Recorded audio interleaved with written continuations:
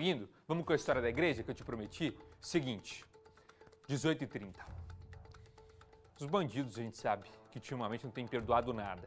Invadem creche para roubar coisa de criança, invadem postos de saúde para levar produto de doente, para levar medicamento, para levar de quem precisa, e agora estão invadindo até a igreja. Até a igreja. Essa paróquia que vocês estão vendo nas imagens, ela já foi alvo de 13 casos de furto.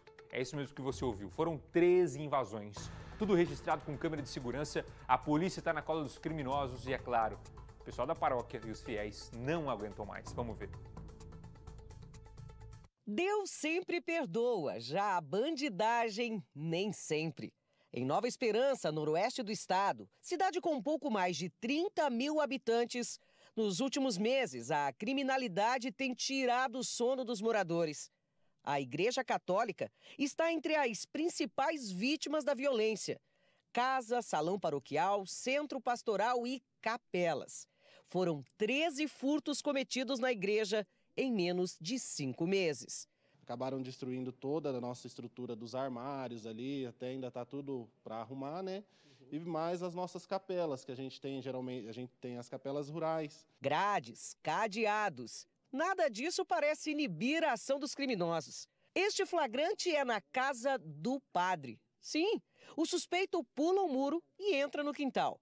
Parece notar a câmera de segurança e tenta se esconder, passando pelo canto da casa.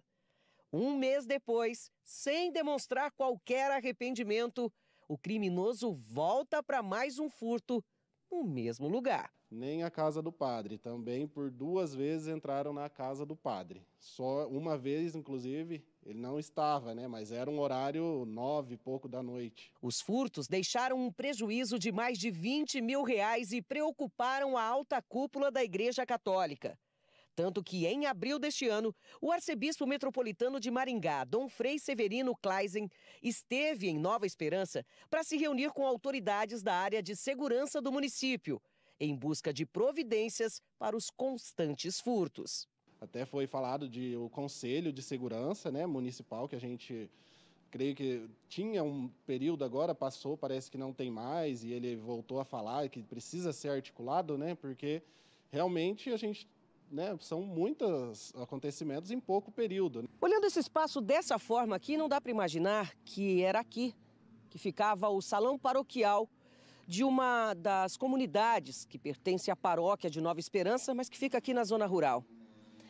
Aqui, os criminosos vieram e levaram parte da estrutura, tábuas, as tábuas que mantinham este salão em pé.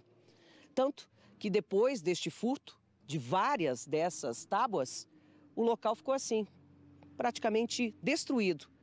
Foi preciso demolir tudo para recomeçar do zero.